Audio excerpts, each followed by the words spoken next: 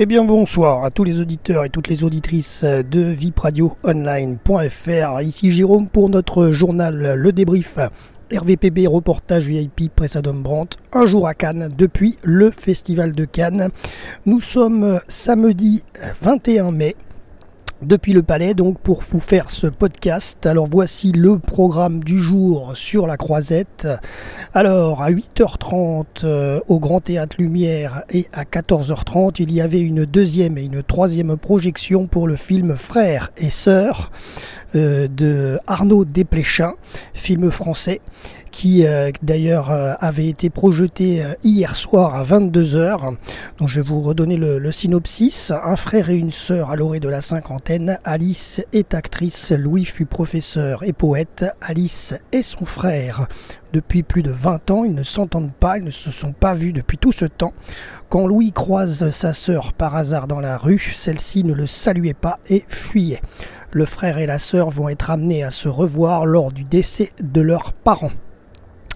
Et dans le casting, nous avons notamment Patrick Timsit qui interprète Zoui et Marion Cotillard qui interprète Alice. Alors ensuite, à 11h15, deuxième projection pour le film Walad Min Alajana de Tariq Saleh. Euh, ce film a été projeté hier euh, au Grand Théâtre Lumière à 16h. Film suédois de 2h06. Adam, simple fils de pêcheur, intègre la prestigieuse université Al-Azhar du Caire, épicentre du pouvoir de l'islam sunnite. Le jour de la rentrée, le grand imam à la tête de l'instruction meurt soudainement. Adam se retrouve alors à son insu au cœur d'une lutte du pouvoir implacable entre les élites religieuses et politiques du pays. Ensuite, euh, à 18h précisément au Grand Théâtre Lumière, euh, projection euh, du film en compétition bien entendu, Triangle of Sadness de Ruben Otslund. C'est un film qui nous vient tout droit de Suède de 2h29 minutes. Euh, après la Fashion Week, Karl et Yaya, un couple de mannequins et influenceurs, sont invités sur un yacht pour une croisière de luxe, tandis que l'équipage est aux petits soins avec les vacanciers. Le capitaine refuse de sortir de sa cabine alors que le fameux dîner de gala approche. Les événements prennent une tournure inattendue et les rapports de force s'inversent lorsqu'une tempête se lève et met en danger le confort des passagers. Donc ce film Triangle of Sadness. Euh, ensuite, à 21h30, projection du film en compétition RMN de Christian Mungiu. Euh, voici l'histoire, c'est un film roumain de 2 h et 5 minutes. Quelques jours avant Noël, Mathias est de retour dans son village natal multi-ethnique de Transylvanie après avoir quitté son emploi en Allemagne. Il s'inquiète pour son fils, Rudy, qui grandit sans lui.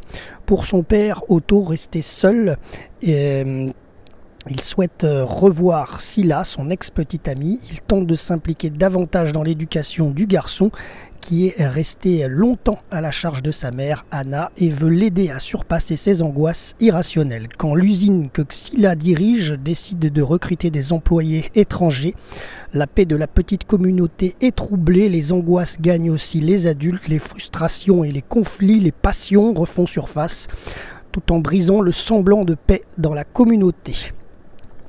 Voilà concernant euh, cette séance de 21h30. Ensuite, euh, à minuit 15, euh, c'est une séance spéciale de minuit, donc hors compétition, pour le film français Fumé fait tousser de Quentin Dupieux après un combat acharné contre une tortue démoniaque, cinq justiciers qu'on appelle les tabac-force reçoivent l'ordre de partir en retraite pour renforcer la cohésion de leur groupe qui est en train de se dégrader. Le séjour se déroule à merveille jusqu'à ce que Lézardin, l'empereur du mal, décide d'anéantir la planète Terre. Vous l'avez compris, c'est une comédie bien entendu. Et au casting, il y a de nombreux acteurs français notamment. Gilles Lelouch, Vincent Lacoste, Anaïs de Moustier, Jean-Pascal Zadi, Wailaya Amara, Doria Tillier, Adèle Exarchopoulos, Blanche Gardin, Benoît Poelvorde et Alain Chabat.